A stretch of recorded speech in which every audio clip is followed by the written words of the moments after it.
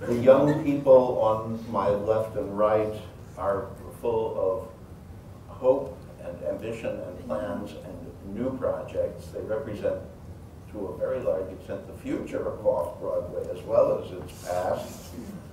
Um, So let me introduce them and then the old fool in the middle will shut up. I will ask one question and let him rip.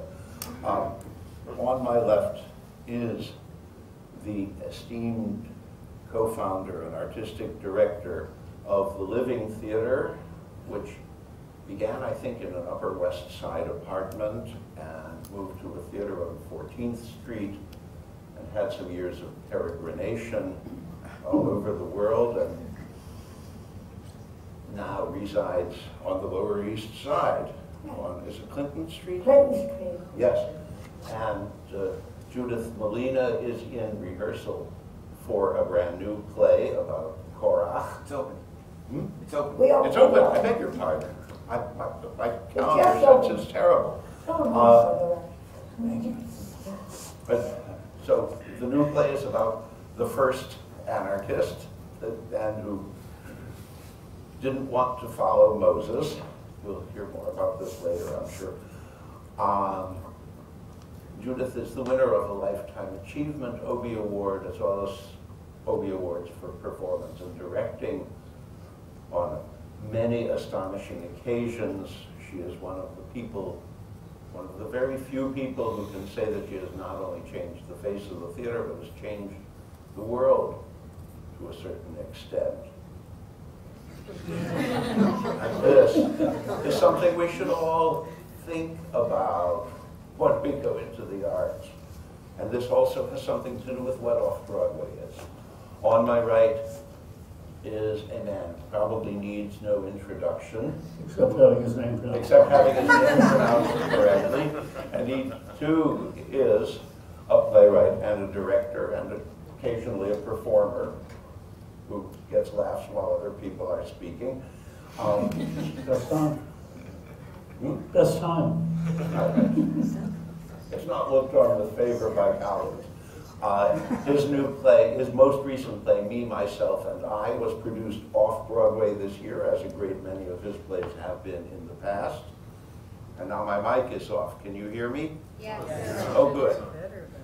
I, I don't know if I'm projecting or if the mic is actually working, but we'll hope. And on my far right is Osvaldo Ozzie Rodriguez, who is a most important figure in the life of La Mama ETC, dedicated to the playwright and all the arts of the theater, because he is the, the director of the La Mama archive.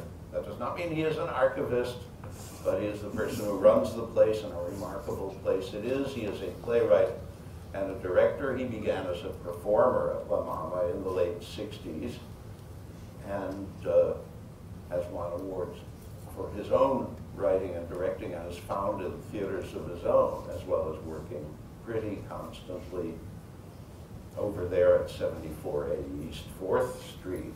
And I'm here on behalf of Ellen Stewart. And he is here, he says, on behalf of Ellen Stewart, he's too self-effacing. Asked, because we're sitting in the Provincetown Playhouse, what's left of it, we're sitting in a place that um, was here in Greenwich Village, taking risks and not worrying about money. What was that line in the movie?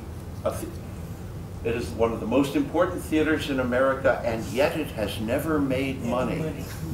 What an interesting phenomenon that statement Yes, is. but why the but?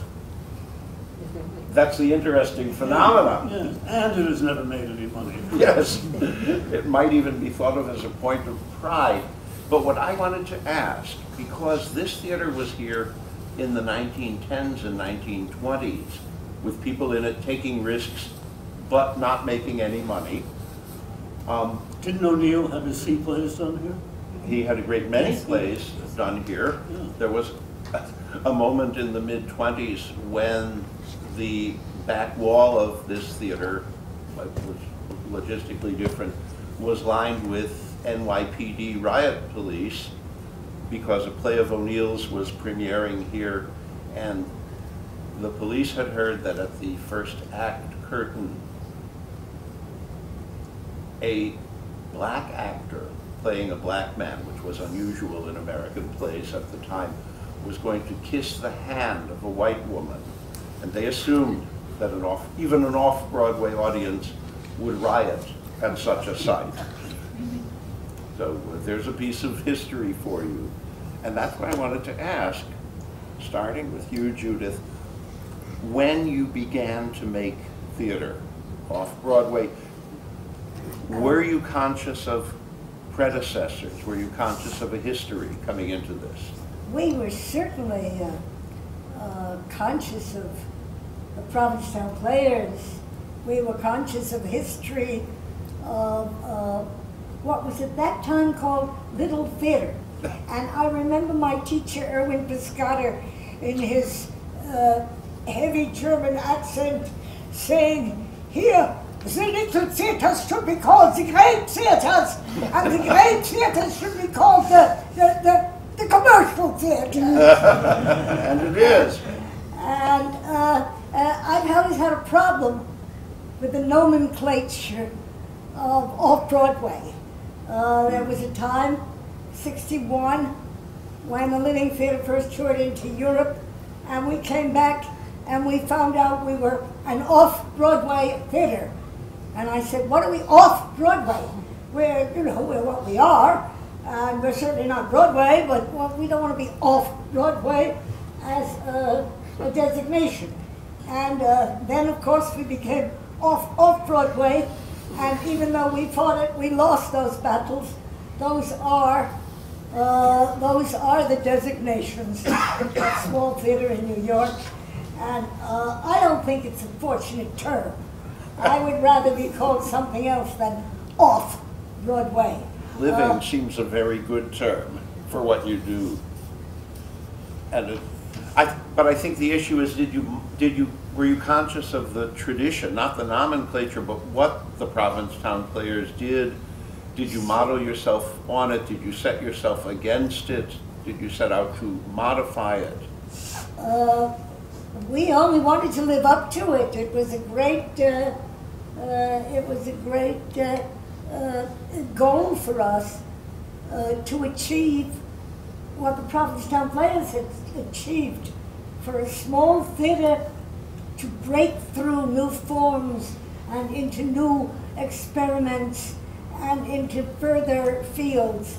And all we wanted was to be worthy of that tradition, and we tried to be, and I would never refute that tradition. I think we're still following that tradition. Here, here on that one. Edward, how about you? Your first play was staged in this theater in 1960. Yes, it was, but, but I want, to- I want to go back before that. Okay. But before I do that, I want to talk to you about something related to what you mentioned about the uh, riot police there for O'Neill's uh, uh, end of the first act with, with a black man kissing a white woman. You think it got much better by the 1940s? No way. I was um, trying to get thrown out of uh, college. I succeeded finally in 1946, 47. I was in Hartford in 1946 going to college, and there was a production there of the, the Duchess of Malfi, not a bad play, starring the famous Viennese whisperer uh, Elisabeth Bergner. You had to sit in the second row, and couldn't, couldn't hear anything. And her paramour was played by a very, very, very fine young actor by the name of Canada Lee. Now, Canada Lee was a black man. He was not permitted to play that performance except in whiteface in Hartford in 1946. So things didn't get much better very quickly, did they? No, I think there was a long struggle. I tell you. Was he permitted to kiss her hand? Oh, yes, they did a lot of stuff, but uh, he was in whiteface, so it was okay. And none of us were meant to know who he was, that he was a black man, so I guess it was all right. It's still that. So I got thrown out of college in, in, in 48. And uh, uh, thrown out from the family that had adopted me when I was a tiny little thing, and uh, sent off into the world, and I came straight here to Greenwich Village. Uh, and I've lived south of 14th Street ever since. Um, I started going to the theater, but let me tell you a little bit more. Some of you aren't old enough to know what it was like. You are, maybe, you can remember some. Or maybe you I'm older than he. Uh, It was a very exciting time in the arts in New York City in the late 40s, in the 50s, and in the early 60s. Uh, everything was changing, everything was happening. Uh, in the visual arts, the abstract expressionist movement in the 50s had come in, and all the painters were down here doing wonderful, wonderful paintings. Um, the theater was doing uh, exciting work. Uh, the poets were over at, at what used to be the uh, a tavern on, on, on, on, Bleecker and, uh, and, and, and uh, MacDougal. The San Remo. Yeah, the San Remo. All the poets would be there. And uh, we kept going to theater. It was exciting. I believe somewhere in the early 1950s, I saw a play here called The Dog Beneath the Skin, or Who was Francis, Cherry Lane. written by W.H. Auden and Christopher Isherwood. We were seeing wonderful plays for a dollar, two dollars to get into. It was enormously exciting.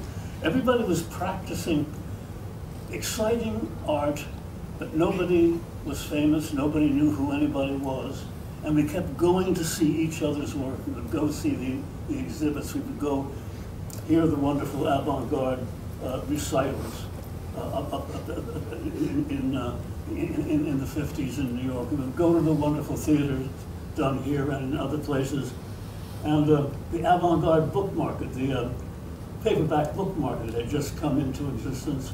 So we could get all the avant-garde European works very cheaply, and we could get to read it. Nobody had any money, nobody had to pay much of anything to do anything. Everybody worked terribly hard, and it was fucking exciting. It was really absolutely wonderful. I, I want to go back to Judith for a second, if I may, because you were very much part of that scene. And the Living Theater started to some extent as a poets' theater, It started it? as a poet's theater, I hope it still is a poet's theater.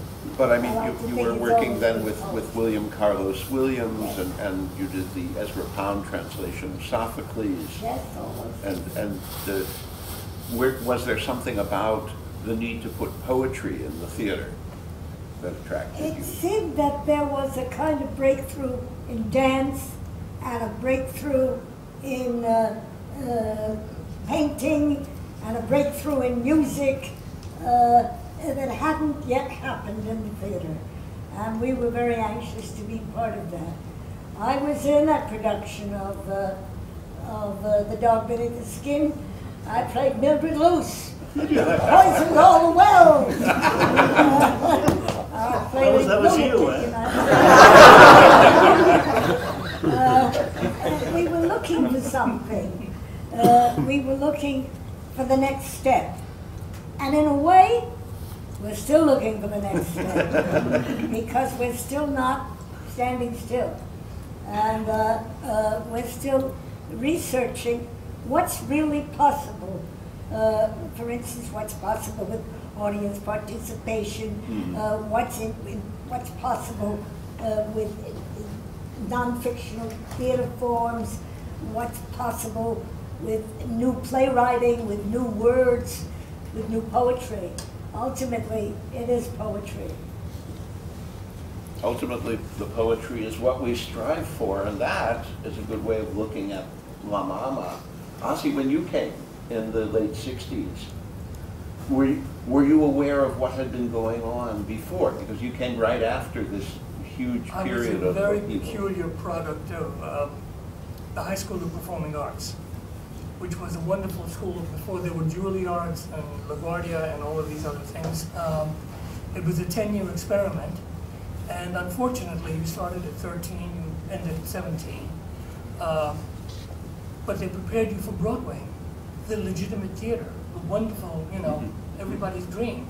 Uh, and of course, there, no one was writing any parts for me on Broadway. I was Spanish.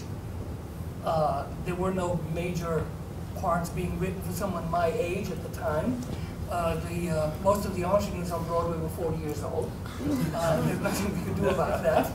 And so it became a little difficult. Um, one of the things that I, I find particularly looking, looking back at the history of uh, Provincetown Playhouse, one of the things I noticed in the development of the Provincetown Playhouse, there was a kind of um, coming together of journalists, writers, uh, poets, coming together to form some kind of an expression. This started out in Provincetown, of course, and then, then it was brought into New York. Um, so there was a, a, a, very cohesive kind of deliberate attempt to, fi to find something, to experiment with each other. Now, that happened just before World War One. Okay?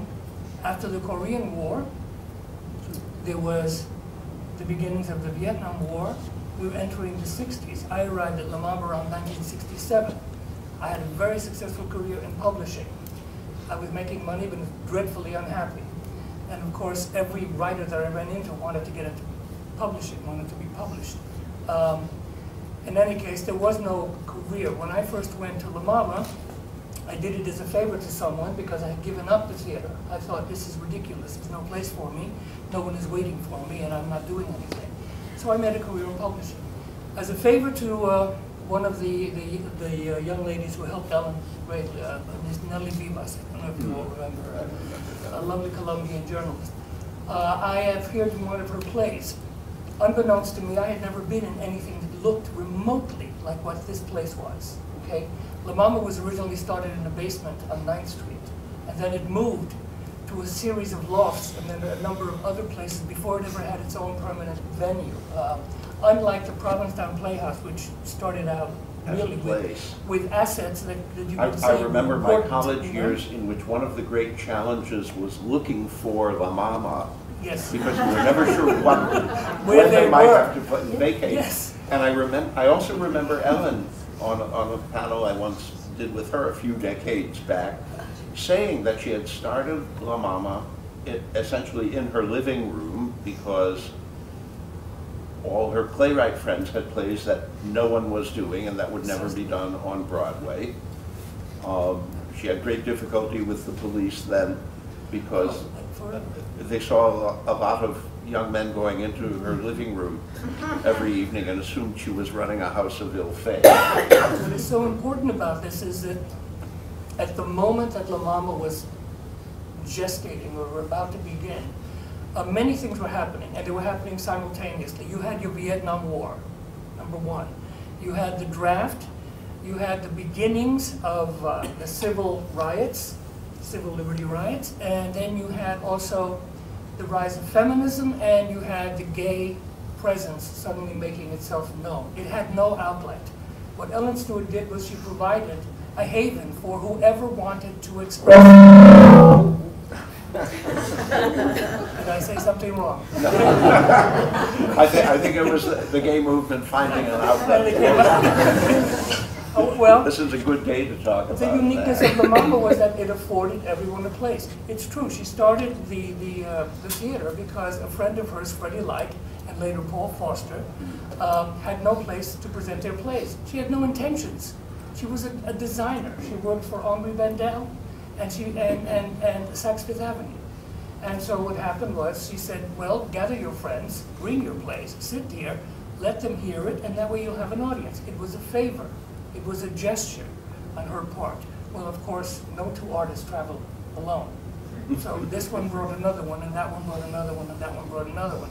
The evolution of La Mama, however, came at a time when so much was happening here. Uh, I think Edward hit it on the, on the head when he said it, there was such excitement in the air. We were the richest country in the world. We had the most educated young people, the most highly educated young people in the world because we provided. And we had communication. The television was informing us and educating us in ways and means that we were not prepared. We don't see the casualties of war on TV every day. We used to see them in the mm, sixties. I They think don't that was what report. made a lot of the protest A was that lot the of- television news Precisely. The was communication that was taking place was taking place verbally, but also because the artists suddenly had a place where they could present their own point of view. And this is why La Mama became such an important venue. Joe Cino started it first with the Caffe Cino, the Living What Theater. year was that, 62, I was, I was just going to ask Edward to talk about this because you said no tra, no artist travels alone. Alone, it's And true. Edward, when you and Richard Barr began producing your plays, you also began something in the company of a large number of artists. Yeah, we had, we had, Red we had an organization starting in the early sixties called Theater 1964, 65, 66. We went on for 10 years. And we produced over that time 120 new American plays, i- including uh, some of the first plays by, by a number of rather well-known playwrights now. One can hardly count the number, Yeah, I think. It was a wonderful time, and uh, um, the actors worked for free. I think we charged a dollar to get, to get in. And uh, it was the way theater should, should be always, but stopped being. It, it- it was, it was so exciting. Yeah. You asked me earlier if I wanted to talk, do you still want me to talk about my first experience here? Actually, I do because it's related to this. We have to go back a little bit. In 1956, I wrote my first play, uh, with the, with the exception of a, of a three-act sex farce I wrote when I was 14. Uh, My first play called The Zoo Story. And it had its world premiere for some bizarre reason, not in America or even in New York City, where you'd expect an American playwright to have his first play, but in German in West Berlin. Why, I don't, What, I think the bizarre reason is that new American plays, unless they fitted a conventional pattern, were not being done. And that was the problem that you were all up against. And so somebody translated my play into German, and a, a production company in, in Berlin read it and decided they needed a play, another hour-long play, to go with a very bizarre play by Samuel Beckett called in, in German Das letzte Bande, Krapp's Last Tape. And so in 1958, the double bill opened in Berlin and got very good reviews, which was nice, in German. I went, you have to go to the, you have to go to the first performance of your first play. You have to. And uh, I, I knew no German. I mean, how can you possibly spend any time understanding a language where all the verbs are at the ends of the sentence? Let's leave that over there. Um, I went, and I had a wonderful time, you know. I, I liked the Beckett play just as much as mine. And, uh, very fortunately, there was some guy from the New York Times there who wrote a review of the evening. It was uh, bilingual. And, and he said in, in his piece for the New York Times, isn't it astonishing that a young American playwright has to have world premiere of his first play in German, in Berlin, Germany, rather than in New York in English where it should be? Well, of course, th- they had to do it here, naturally, you know. that They were embarrassed not to. And so Dick Barr, who produced the first uh, 15 or so of my plays, I guess, um, bought the rights, both to the Beckett play and mine. I came back from the opening in Berlin to discover that I was going to have a production of my play in New York City. And I thought that was very nice, so we cast it and, and, and opened it here. Um, in those days, the um, Playhouse was shaped a little bit more like a theater. Um, the rate was not so precipitous that you, that you would fall in, in, into the stage. Um, it, was uh, a a regular, regular theater. Um, again, we got very, very good press here. Some people liking Beckett's play a lot, lot more than mine. Some people liking my play uh, the, a lot more, more than Beckett's. You know, that's the way that sort of thing goes. But we ran here and uh, in various other off-Broadway theaters in the same production for three years, which was very, very nice. And uh, I never looked back. I quit the job I had delivering telegrams for Western Union and uh, decided I might as well spend some time being a playwright. And that was 30 plays ago. When you came in here for the first time, did you think of O'Neill and Susan Glaspell and George Cram Cook, or did you just think, wow, I'm having my first play produced? I can barely remember what happened the day before yesterday. I probably knew it in some way and, and, and felt happy about O'Neill. Yeah, I didn't know who Glaspell was, of course. Why not? I don't know, because I was ignorant. I was educated in private schools. It might be because no one was paying attention to women playwrights then, but uh, the 60s changed that somewhat. You know, it was so exciting. This is the proper size for serious plays, by the way. A seat, a a hundred seat theater, two hundred seat theater at most. Because uh, the intimacy, the double intimacy from what's happening on stage to the audience and what's happening in the audience to what's going on stage is, is so exciting. It is really quite wonderful. And I'm always happier when I'm having my plays done in small theaters than in large theaters. I find it interesting that uh, your first play was done in Germany. Um, It's one of the reasons that Ellen sent so many American plays to Europe, critics in America were not paying attention American playwrights. The irony is, of course, that once you went to Europe and you performed in Europe, you came back, you had credentials, that somehow the Americans were ready to applaud. It's, it- it- it's other- interesting nowadays Yeah. that many commercial Broadway productions, as- in effect, try out in London. Precisely, and then come here. I thought one of the more interesting things, though, was that in the years 62, 63, La Mama began in 1961, but some of the first plays that were done at La Mama were by the following playwrights. If you give- permit me, I just want to read very quickly. Please. Tennessee Williams, Eugene O'Neill, If they're not their first play. 1962. The first things you guys did. This is the first La time, Mama yes, did. this is the first This time was it was also true of the repertoire at the Cino. There were a lot of Williams and O'Neill one acts. Arrabal, Oscar Wilde, Leonard Melfi, Pinter, Gide, Edna St. Vincent Millay, hmm. George Bernard Shaw, Williams again, William Saroyan, Anouilh, Ionesco. Okay, these were the things, this was the avant-garde of the 1960s that was being somehow offered to the American public and also influenced so many young writers who had never had the ability to really interact with these, these other uh, uh, writers. You weren't going to find these guys on Broadway too soon. Uh, However, there was a real thirst, and one of the things, again, the open door policy of both the Moving Theater and La Mama and the Provincetown Playhouse was, uh, made it available to them. The other thing was, because, be it a naive thing or be it an ingenuous thing, because we were constantly breaking laws, we were always at the frontier. In other words, everything that was being done off off Broadway, and I know the term offends you, however, when I was in San Antonio and I had a company, I very proudly called them off off Broadway. They accepted the title very well. But one of the things that happened was, because we were doing things that were technically illegal, and not technically illegal, but rather not commercial, okay? Well- We were in the wrong spaces. We were advertising in the wrong way. We were um, mixing and matching things that didn't belong. There were people who came in as light designers and ended up being set designers.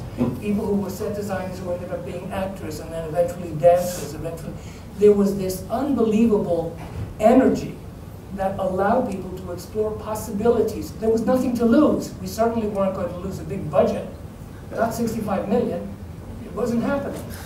See, this is what was there. And the thing is, it was an enthusiastic, received enthusiastically because the door was open to everybody. So suddenly, La Mama had troops that were black troops, that were Asian troops, that were Spanish troops, that were purely American troops, that were coming were in from, from, from Korea, from Japan, etc. It opened the door.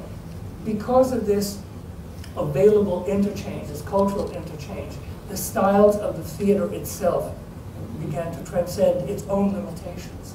So suddenly you have performance art evolving. You mentioned dance becoming an important part.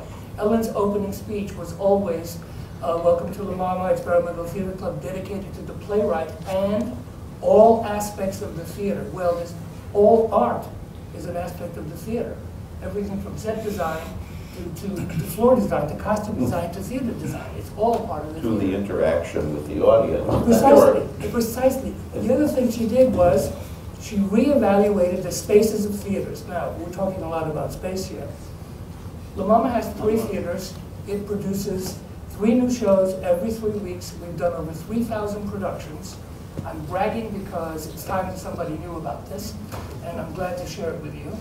Um, But more importantly, La Mama spaces were created to be mobile. The minute Ellen returned from Europe, she realized that the American theater needed more. The Living Theater completely changed the the relationship between the audience and the actual spectacle. It was a time when that was necessary, which immediately made everything else antique. You're not going to find flock paper and gold cupids hanging from the ceiling in any one of the little theaters off off Broadway, okay? I mean, if you are, it's a lovely decoration, but it not, was not the purpose. The purpose was to communicate what was essential, and that was the play, the production, the actors, all of the material that was being presented, given and explored at the same time. It was also communicating the most important things, social events of the day, and attacking those things that were no longer American enough for us, that were no longer describing who we were. Uh, this is one of the things that, that, that afforded so many young artists the ability to present their, their, their material. I'm talking too much. Yeah, yeah, in spite of the fact that we, we might consider the golden age of, of off-Broadway or off-off-Broadway to be with, with the Living Theater and, and, and, and La Mama. Uh, it really began at the end of the Second World War. Uh, and, and, and our, our knowledge of, of what was going on intellectually and creatively in Europe was open to us again. And that's when the theater started being enormously exciting. That's when, why I could see terribly exciting plays that uh, I didn't even know about until, uh, until uh, uh, the, the mid-40s. It, it really began, serious theater, serious theater movement in the United States. Experimental theater movement began, I think, uh, in, in in the, uh, at the end of the Second World War. I think probably you could find people to say there were experimental theaters that were serious in the 20s and mm-hmm. 30s, but what happened was the impulse had burned out and been dampened by the Depression. Yeah. And so then came the war. There was no time to think about it, although you find accounts of little individual things. One of them was Erwin Piscator's class in the theater that he founded at the New School. And Judith, that's where you began. And he taught us that the first thing is that you have to have something to say. That you have to have some reason why you're standing there in the light, these people are in the dark, and you're talking and they're quiet. You have to have something really to transmit to them. So that was very important for us. And that meant for us political theater. And we're still trying to do it. And I was struck in this conversation by, uh, I think there's a French saying that says, the more it changes, the more it remains the same. Plus ça change, Uh, plus c'est la because uh, uh, I'm doing a play now. I've got 25 young people uh, from 19 uh, to 30 years old, and they have all that enthusiasm that you were talking about uh, in, in our early days, and they are uh, burning with fervor uh, for what they're saying for what Piscator said they had to have something to say, and they're saying it. And it's, uh, it's very inspiring to me. Uh, we got five older actors in the, in, in the, in the cast. Uh, some of them have been with us for 25 years. And, uh, and, and all these young people that are bringing us all this energy. And it reminds me of that time because these people also, alas, had to work for six weeks with no pay for rehearsals because we didn't have a budget when we started our play, The Korach. And it's an enormous spectacle, a biblical spectacle, and uh, uh, with lots of singing and, and movement and, and, and the golden calf and the Mount Sinai and uh, the Holy of Holies and, uh, and no money. uh, come see, it's interesting what happened. But this is the big challenge, is how are the artists to survive if there is no money? In the twenties, in the forties, everything was less expensive, including chance to live in this city, including the space to rent, to have a theater in. And It's the, and the tragic. city was, hmm? It's tragic. I know, Because these wonderful actors, with all their talent and spirit, have to go do office temp uh, uh, every day, or they have to be uh, working in a, in, in a bar or a, or, or a restaurant as a waiter or waitress, uh, like all the other actors in New York. And this is a tragic situation. It means we don't support our culture uh, uh, there's a small group of people that can make a lot of money on Broadway, and that's wonderful that they can do that. Uh, but there are hundreds of actors that, that, that can't live. And, and in some way, uh, our, our, our society should support our culture.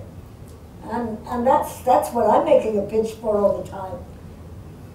how do we reconstruct our society to support our culture, and especially when our culture brings bad news, which the society doesn't want to deal with. I'm thinking about the brig, because Ozzie keeps mentioning the upheavals of the 60s, Yeah, and, be, and because you revived it two years ago, that astonishing production, and I brought a young playwright to it who said, this is the newest and freshest theater I've seen in New York all year. and it was an old. And I, and I said, I saw this in 1963. A long time, for a long time, we said, we didn't want to do plays about how bad it is. We want to do plays about how good it can be. And I started on the subject of Korach uh, uh, five, six years ago with Anna Resnikov, who's since uh, died and, and wasn't able to participate because we gave it up because Korach gets swallowed up by the, by the earth. And that we didn't want that, that, that, that bad ending.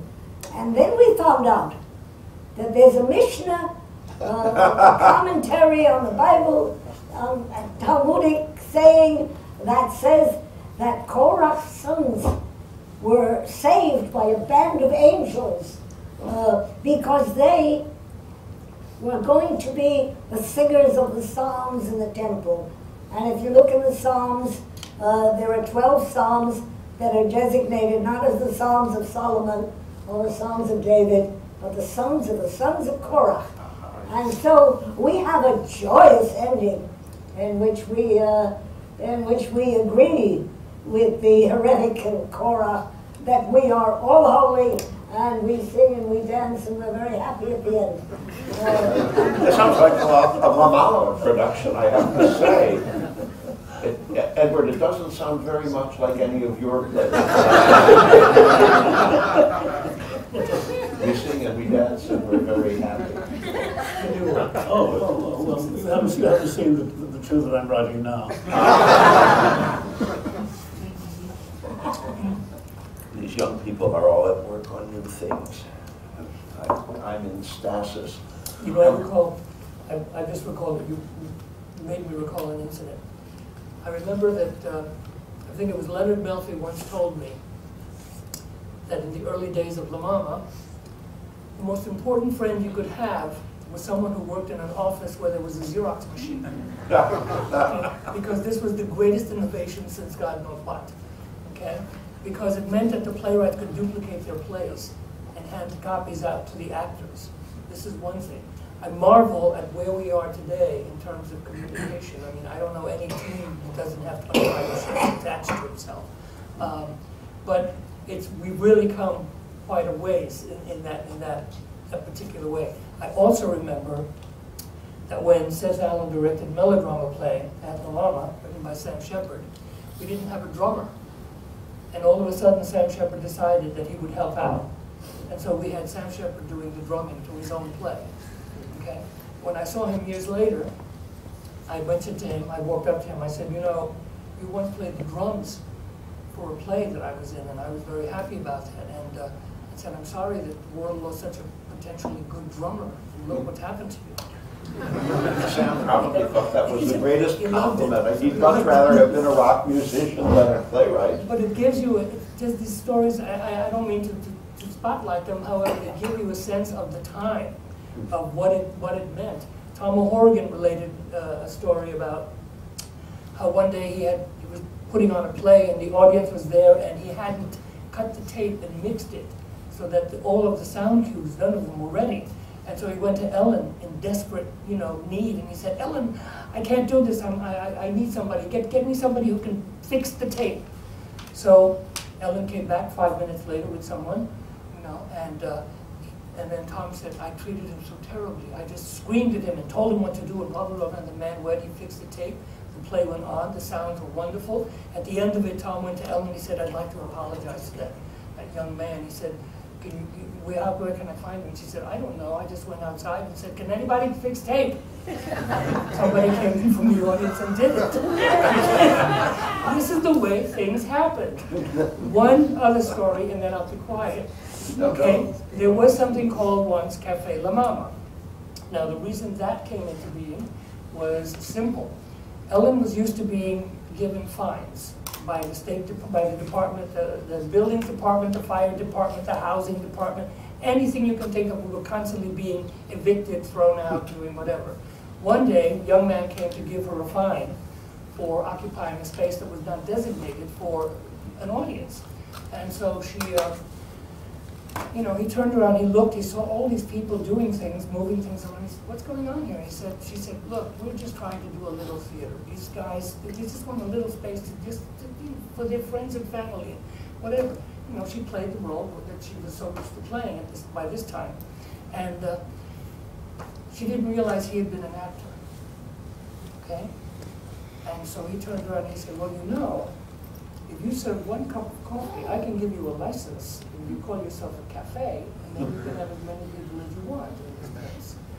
She said, terrific. They collected quarters. How much is the license? Two dollars. Terrific. He said, what do I call it?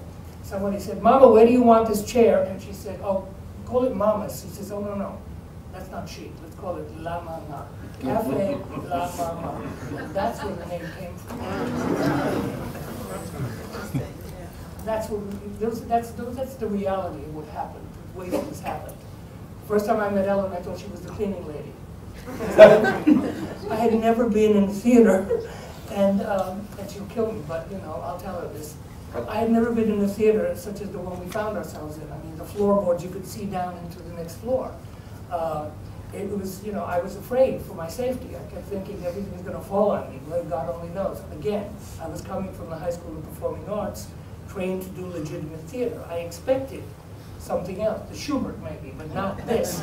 I once directed a piece at HB Playwrights Unit, and um, um, I came into the theater the morning before a rehearsal, and I found Uta Hagen with a bandana on her head, and a- just in mm-hmm. in tights, mopping the theater, and I said, oh, please let me do that, and she said, why, it's my theater.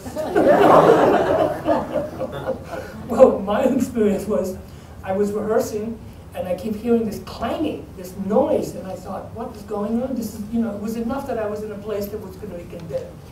That was enough for me.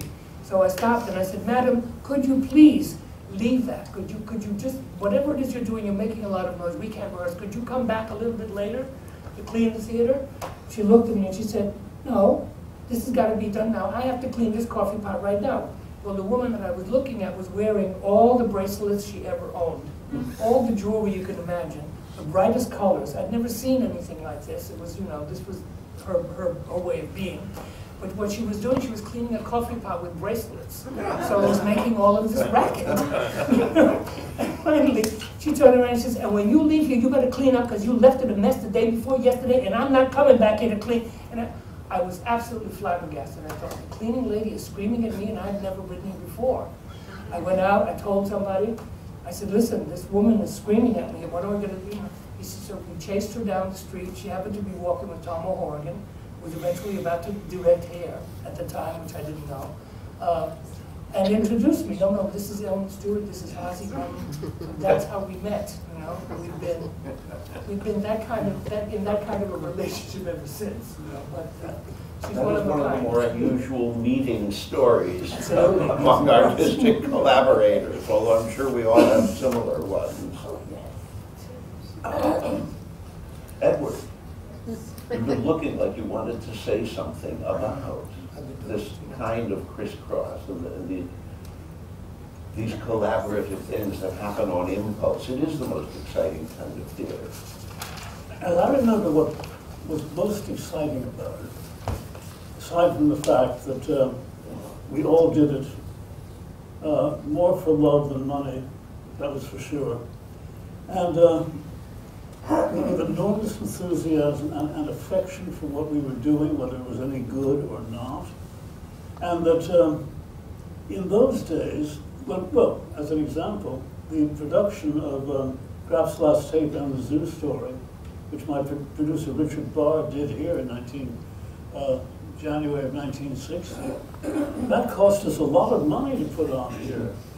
That cost $1,200 to produce the entire evening. Isn't that extraordinary? That- An, an equivalent evening now of those two plays in a small theater like this would cost about five hundred thousand dollars. Our tickets were one and two dollars each. Not in our place, Huh? not in our place. Judith could do it for, for twelve hundred. No, but the interesting thing was, the playwrights themselves helped each other. Well, of course They invited each other into each other's theaters, so Yes, that if there was no room at La Mama to do a play, then, you know, uh, Edward could say, come to the Van Dam Theater and present it here. And many, many plays were done that way. And the credentials that they achieved, the the credits that they achieved, was because it was ongoing. It became impossible for the journal, for journalists, or particularly critics, New York critics, to ignore what was happening underground beyond a certain point, because it was infinitely more exciting than what was going on in the commercial theater.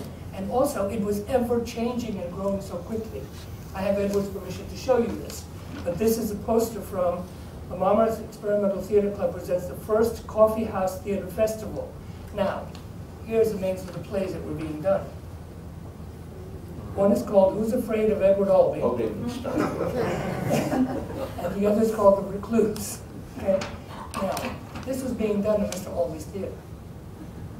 All right? This is the kind of camaraderie that existed. This is the kind of real evolution that was possible then. And I'm, I'm looking forward to seeing that rebirth wonder. The rebirth of camaraderie. I think the Living Theater has been striving for it during its whole career. It still is, The yes. camaraderie with the audience, the camaraderie among the, the creative artists. But it is, it is the thing that we all build on, isn't it? Even camaraderie, God help me, with critics. It becomes you know, collective Yes. creation. You know, this reminds me of my favorite line from Brecht, which I'm going to quote in German just to please Edward, because the verb comes at the end. Uh, it's, it's, Wenn die Kühe miteinander besprechen können, dann würde die Schlachthöfe nicht lang bleiben. That's from Puntila. He says, if the cows could get together and talk things over, the slaughterhouse wouldn't last long. And, and this brings me to Brecht, who is, I, I wanted to talk a little bit about the past tonight, not about our past as, as theater makers, but about the predecessors, the parents of off and off, off Broadway. And one of them is Brecht, who has been important in my life and very important in the life of. And another one Living equally important, Theater. and nobody really knows who he is anymore, uh, is Pirandello. Ah. I can say, to a- I can say to, to a young student of mine, let's talk about Pirandello, and as likely as not, the answer is going to be, where is that? Yes, Good, I can, I can now say that my dear friend and colleague David Gordon is working on his, ver- his distinct David Gordon and Valda Setterfield version of Six Characters in Search of an Author, and I'm going to see their workshop of it next week after Christmas. Um, I love Pirandello, who is, is one of the important people. Most important 20th century playwright. Brecht, I think, was a new discovery at the time when off-Broadway began to boom. Pirandello was already an established classic. Yes, we did Pirandello long ago, we did Brecht. When you did, Pi- when you did Pirandello, you had the, the actors come into the audience and evict the critics from their Yes. seats and watch the play. Uh, And, and I, I think it's, I think it's wonderful that we're here in this site here, sort of speaking of its history and remembering our forebears of, of our work. And uh, we all have such long histories to talk about here. Uh, I wanted very much, uh, I wonder if you could indulge me uh, to hear from uh, someone who is still in his 20s. Uh, Brad Burgess has been working with me. Uh, he's been an actor, and now he is the uh, uh, uh, associate director of the Living Theater for the last four or five years. And he's uh, still in his 20s. And I thought it might be interesting, after hearing all of us, to hear a young voice about uh, what does this history mean uh, uh, to someone who hasn't lived it. We've lived some of it. Uh, but what does it mean to you? Well, I would say that it helps you understand who your peers might be. You know, we have a couple of our company members in the audience. And it kind of heralds back to what Ozzie was saying earlier that you never really know who you're meeting when you're meeting them. And it's a sort of communal consciousness that the history teaches you. You know, don't brush anybody aside. Anybody could be your, your great collaborator. Anybody could be Ellen Stewart.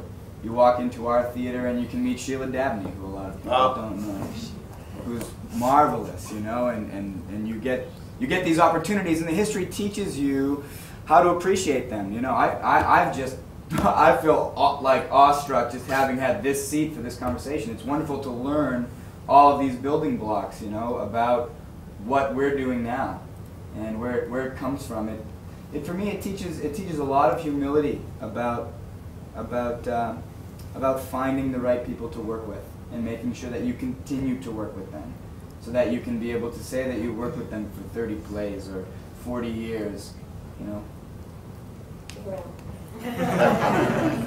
That again, thank you, Brad.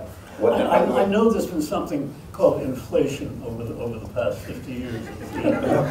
But the cost of producing plays has risen in ways that transcend in, in, in, in, in inflation you know, completely. The cost of, of, of, of making art in the United States now, at least in the theater, is so preposterous that the joy and the opportunity is being driven out of it for most people. Uh, it's much, much harder now for, for a young playwright to get going without being told he must compromise all of his values so that we can produce his play, revise it so that it becomes simpler and less complex and more commercial. We've two characters. Yes, of course. The, the- the corruption of commerce has done such serious damage uh, to the arts in the United States. You actually, I think, especially haven't in haven't mentioned the worst side of that, which is, from the audience's point of view, the cost of the ticket Oh, is well. the single most corrupting and damaging thing, because so many people can't afford to go to even an off-Broadway theater, and that's Off-Broadway not ticket prices are seventy-five dollars 85 It's ridiculous, it's preposterous. Our tickets are only twenty dollars, and on Wednesdays, you can pay what you can, which is you can get in there for a quarter if you really have no money. So that everybody can come to see our, our plays, and I think that's a very important You important know, when, when, uh, when when the Zoo Story opened here, I, I, I said I quit my job delivering telegrams at Western Union. I was making thirty-eight bucks a week there. And here, uh, I was making sixty bucks a week. And it, it, it- it kept me in, in, in, in beer and cigarettes, and, and that was quite enough for me. It was, it was wonderful. I'll tell you one interesting thing about theater, which is sad, and, and commerce has a great deal to do with it. Everybody is earning a great deal more money in the theater now than they used to, except playwrights. Mm-hmm. We used to receive ten percent of the gross. At the most a playwright gets now is five percent of the gross in a commercial production. And more and more, we're being encouraged to compromise and do, and do less and less. The playwrights are suffering from, from the commerce of theater more than the actors are, more than the designers are. I think that is, that is actually an arguable point, because once the play is up, the playwright receives the money for as long as it runs. As, as he damn well should, he wrote it. Yeah, no is. But the actor who does not get the role and is doing the four-week run in the off-Broadway subsidized house for what is barely a living wage for one person, and who sometimes has a family to support. Actors with children work incessantly, I find, because they can't let their health insurance. And most lapse. They have to playwrights, most playwrights who have plays done in, in New York City, they're lucky if they get a four-week run, Absolutely. you know. So it's not that the playwrights are, are- Well, we also I- I have, don't- I don't- have a system I that think I is built mean in. Simply, Edward, that it's not a good, it, it's, it's no use to claim precedence for one group of artists over another. The, the problem is, how do we all? okay, then I think everybody should have to do as badly as the playwrights do. And we'll have a better theater. Well, I think, I think, though, for instance, the, the off-Broadway, well, it's the off-Broadway theaters have a kind of built-in obsolescence because we're limited to the number of seats we have. Mm-hmm. We're limited to the prices of the tickets, and we're limited to the number of performances that we can give. So if you don't, if you really cannot in some way get a decent review immediately, okay, and have an audience know where and where, where you are, how long you're going to be there, you're already a built-in obsolescence. It's, it's already, you're losing money before you've even made it. Uh, It's, it's part of a system that needs to be addressed again, I think, because um, communication and also the, the size of audiences. It would be wonderful if most of the people who don't know about a play going on for the three weeks, okay, would be, have the play available to them. I mean, if it could run for another six weeks, let's say, in order to give it that, that, that, that, that period of gestation that the plays need to arrive at a certain place. But we can't invest that way Well- off, off Broadway, especially not the nonprofit situation. One of the solutions to that is, as it used to be, that the company establishes itself, that you have a group of actors, that you have something like La Mama Troupe or the Living Theater. You have people who work together constantly, and it's the company reputation that sustains you through the new play and the old play and the play that's a complete risk. But as Ju, uh, uh, as, as Judith will tell you, it is becoming increasingly more, more and more difficult to sustain a troupe or a group of people, you know, doing this, the same work. When Ellen, uh, in nineteen sixty-nine, when Ellen got her first permanent venue, which is the, the, the theater that you saw, the opening day, um, she instigated a program which of course no one had ever heard of before. She had five resident companies.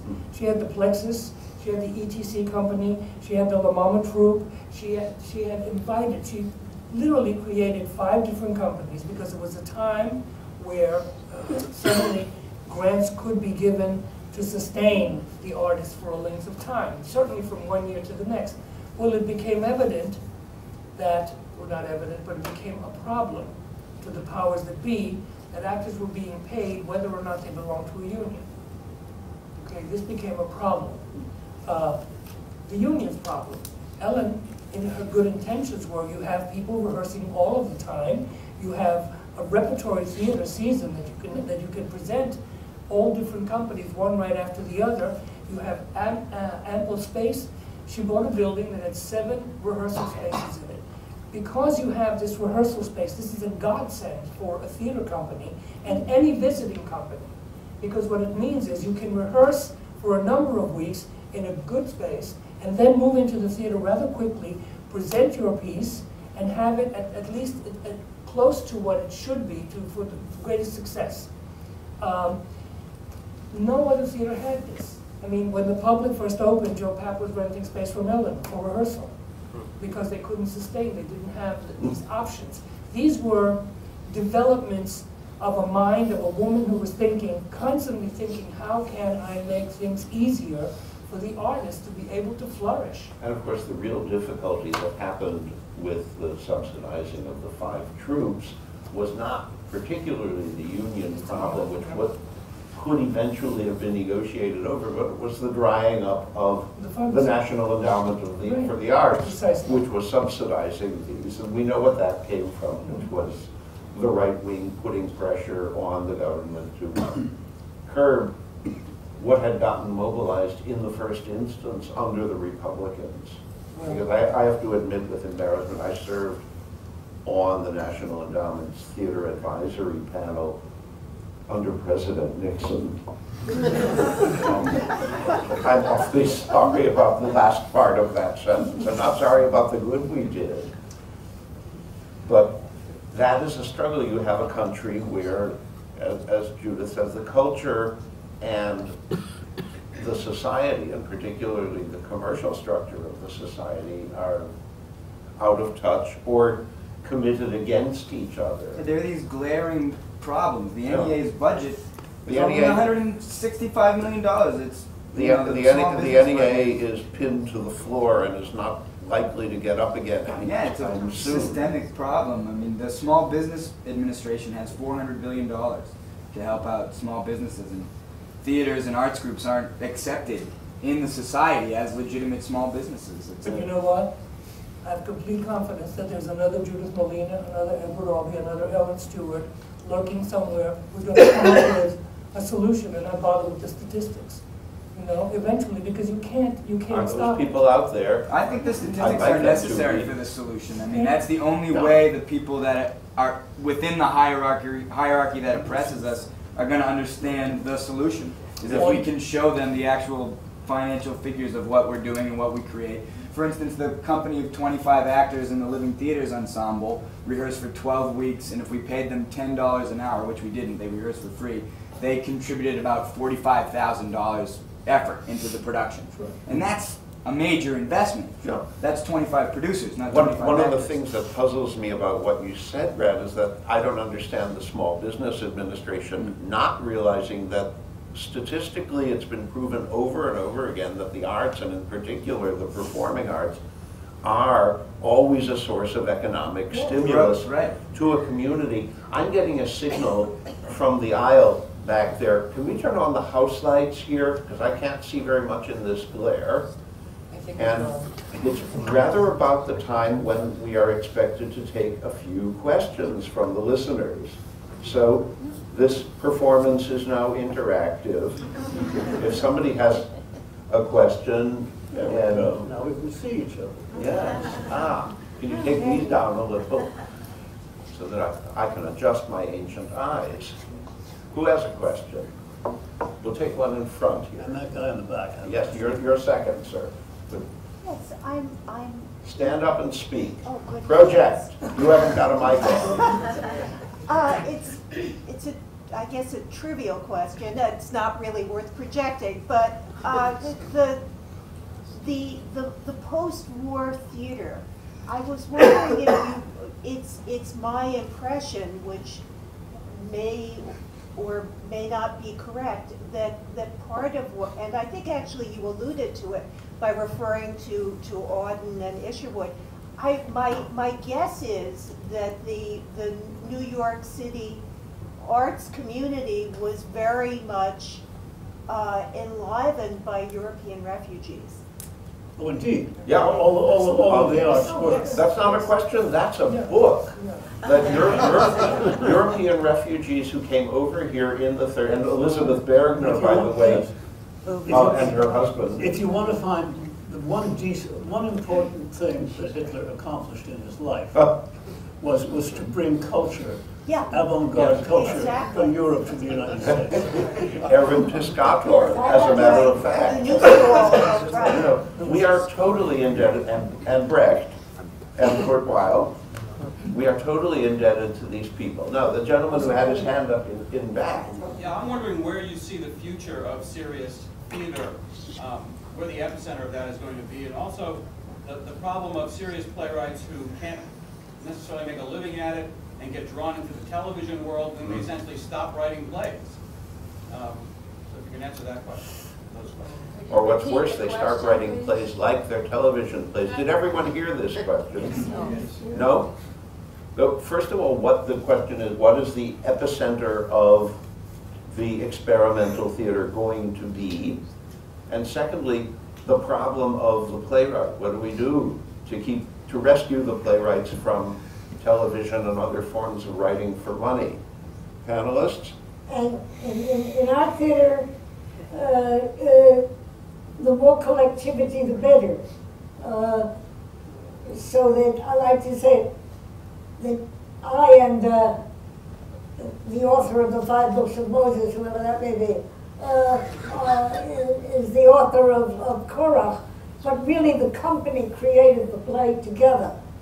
And uh, I, I, I, I, treasure those who have the playwriting skills among us, who can contribute on that level, just as those who can do choreography contribute on that level. Uh, everybody does everything. Uh, I think that the future lies in companies, in the ensemble, in uh, an ensemble that is able to stay together. Now, we've been able to stay together in spite of the fact that we have no money, uh, because everybody's willing to live on this dreadful poverty level. Uh, and, and I don't even want to tell you how far that goes. Some of it isn't even legal uh, in terms of what we're allowed to do.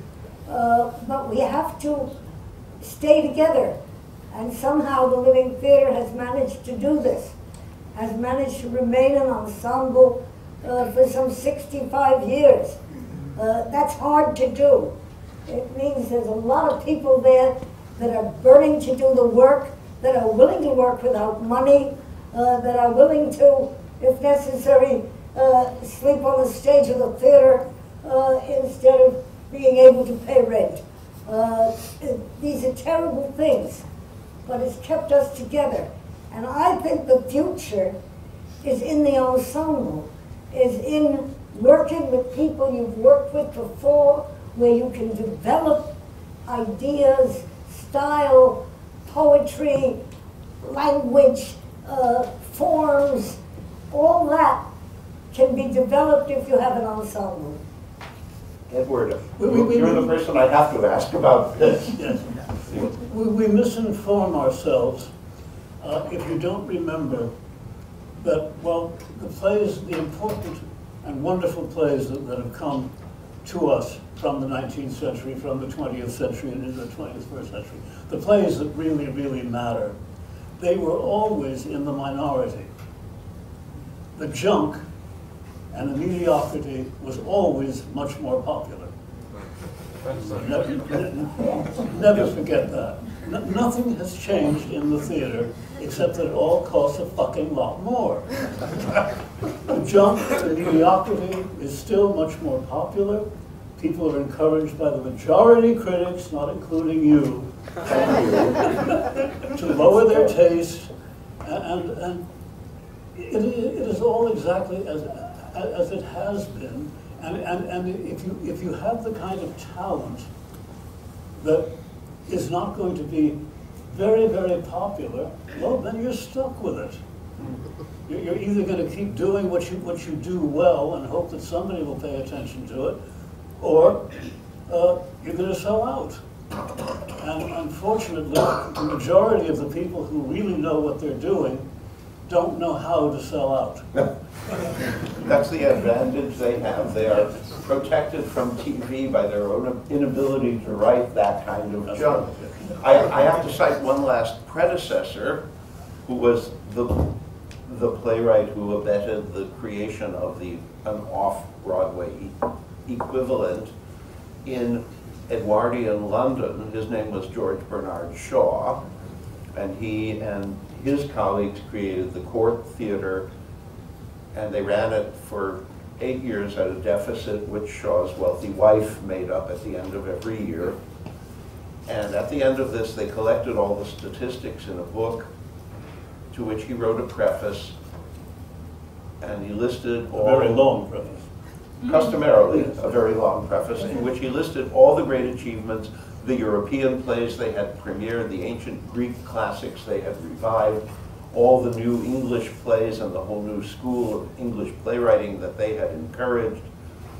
And he listed all the kinds of people from every walk of life who had come to his theater, scientists and musicians and physicians and, and government officials. And then he said, I don't think that playgoing London came to see us to any great extent. This has always struck me as the single most tragic sentence in Bernard Shaw. Yeah, I think in, in, in, uh, I have a concern regarding what, what you addressed. I think we are manufacturing too many disposable playwrights, and by that I mean, it's become too easy to put up a play for three weeks and then forget about it and then have to do it again. No one is working to establish or to create something of any greater, longer lasting value. Not, I I should say no one. There are people out there, but I think that we're sending our youth, our young people, the wrong message by this, this uh, immediate uh, uh, accumulation of so much disposable material because of the television writing, because of the immediate movie, the success, the, the rap song mixed with the, you know, the, the go-go dance or whatever. Dare I Uh, mention the word internet? This, well, there you are. Instant results for everything. Yeah, not everyone who blogs is a writer. Uh, Not everybody who, who belongs on Facebook is, is, you know, can be a playwright. And I don't care how you, how many friends you accumulate, it doesn't necessarily make you a literary person. Um, And so I think what's happening though is that I, I think we're losing our mentors. I think we're losing the, the Edward Albees and, and the others if we don't support them. If we don't put out, make the effort to make sure that they are produced and that they are seen, then we're shortchanging our own future. Uh, it's very important, I think, that we follow through on this, uh, just as, as an audience and also as a people, as a nation. Here, here. Judith. I have just finished uh, writing a book. Uh, it's supposed to come out this year by uh, uh, Routledge, is it? Yes, Routledge. Uh, uh, and it's a, it's a story of Erwin Piscator's struggle in the United States to be a director, to direct plays. He ran a wonderful school, a school that's been seminal in the whole history, the, the, the, while I was there, there were three acting teachers that were working on different, different, in different rooms at the same time, Lee Strasberg and Stella Adler and uh, uh, uh, Herbert, uh, uh, uh, Herbert Berghof, and they were all working in one, in, in, in, in one space and, and struggling with each other unbelievably. And I have written a story about, speaking of tragedy, this man who wanted to establish a theater in America and couldn't do it, and went back in, to, to Europe in utter despair, uh, writing back home to his wife, Maria Ley, uh, I have failed in my life, I have failed in my art, nobody wants me. And for 11 years, toured from city to city in, in, in Germany, uh, uh, uh, doing plays in various provincial theaters until finally Willy Brandt became the, uh, uh, became the, the mayor of, of Berlin and gave him the key to his Volksbühne, and he produced immediately the three seminal political plays of our time. The Deputy, uh, the um, Investigation. investigation, and the case of, of, of uh, uh, Oppenheim. All, all those three plays that were his uh, fulfillment of his promise. If he only had a theater and a company, and he finally did, and he couldn't find it in America, and um, I, that was a tragic situation. It didn't end too tragically because he finally did succeed. Uh, but it is a struggle, and this struggle uh, is, is a historical struggle. And, and Piscator went through it, and you heard about my mama uh, going through it, and you hear about a great playwright like Edward Albee going through it, the struggle to survive, the struggle to be able to do our work, which is all we ask. Wow. That sounds like a summary to me. Um, But I dare say there are- is at least one more question. Is there one? Yes. He was first. What can we do to uh, foster more government support of the theater? Oh, is it possible? Pamela? Yeah, the- we won back about twenty-five percent of the cuts from the DCA this year by lobbying. You know, there's Art New York, there's Fourth Arts Block that La Mama's a part of. There are a bunch of advocacy, advocacy groups. Each community board now has a arts and culture task force. It's not quite committee level, but there are lots of people that go to these meetings that fight for exactly that. You're It's- talking local. Yeah, Yes, local. The Department of Cultural Affairs, DCA. Yeah. Um, I don't think anything will work except revolution, but that's not. I hope it will be a peaceful one. We, we have to create a cultural environment in which it is understood that it is, that we are the only animal that creates art. Yes, And that is our distinction and our ultimate value, that we are the only animal that creates art. And the more we can pay proper attention to the arts because of that, uh, then possibly we will have government support that makes some sense. But you have to have artistic education in our schools, which we no longer have very much anymore. And, and you, and you have to have a culture that, that respects excellence over commerce. yes. Now, bravo. there's something which I'm never sure is possible in America, because people are so fixated on commerce. This is the only country in the world, I believe, where after a new movie opens, at the beginning of the next week, they don't talk about how good the movie is compared to other movies. They publish the grosses from the first weekend. How do we do it? Anybody up there, any solution? Yeah, there- Yes. Who are you pointing at? Oh, I- uh, I have a question back here. Okay. It's for you, Mr. Feingold. I was wondering if you believe that theater can spur the revolution or it's just a dogged faith that some of us strive towards. If we can do what? I'm sorry, say it again. I'm wondering if you believe that theater can spur the revolution or if it is a dogged faith that some of us strive for. Well, there are so many revolutions that so many The people question is which Which one are you talking about? Yeah. Which revolution you're you talking about? I'm talking about right now. Making change in our world. Do you believe, Mr. Feingold, that we can do this through theater? That is an interesting question, and I am not sure of the answer, but I can tell you a couple of things. One is that the theater is a place to make people think and feel, and those things abet change. I'm always cautious about the word revolution.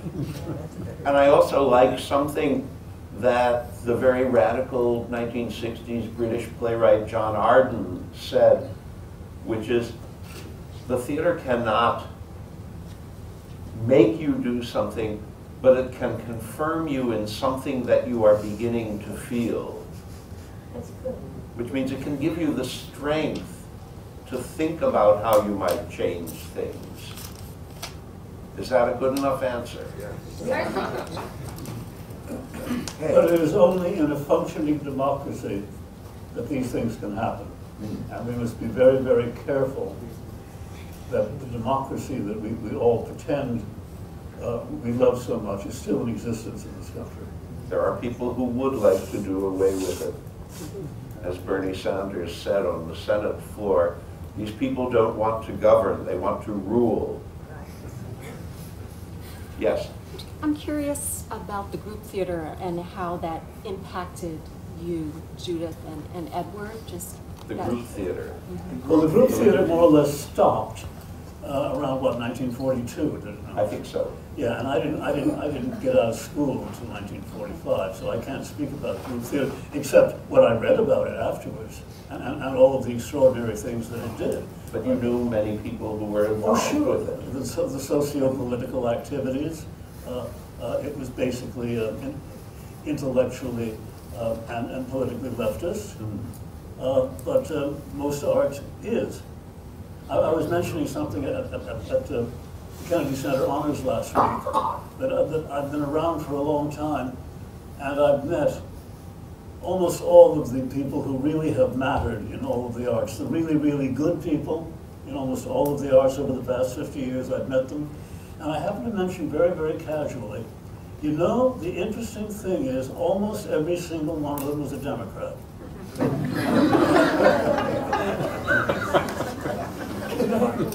Can I say something? Yes.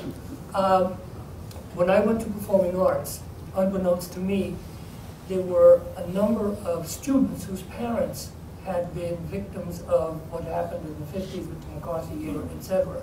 And many of those people had been, instru- not instrumental, but had belonged to many of the, the intellectual circles that had, that had grown out of things like the group theater and, and many of the things that had come before. And even in the sixties, they were still suffering the stigmas of what had happened in, in, in, in, in that period, because the children's names had been changed. Uh, they would speak things. I found that some of my friends' parents had written Broadway shows and were given over to someone else. In other words, they were working, literally working undercover, because the artists themselves had been in, in some way blacklisted, and, uh, and to me, it was an unconscionable, uh, a, a crazy, an unbelievable thing. But uh, what I see happening is we, we develop in waves.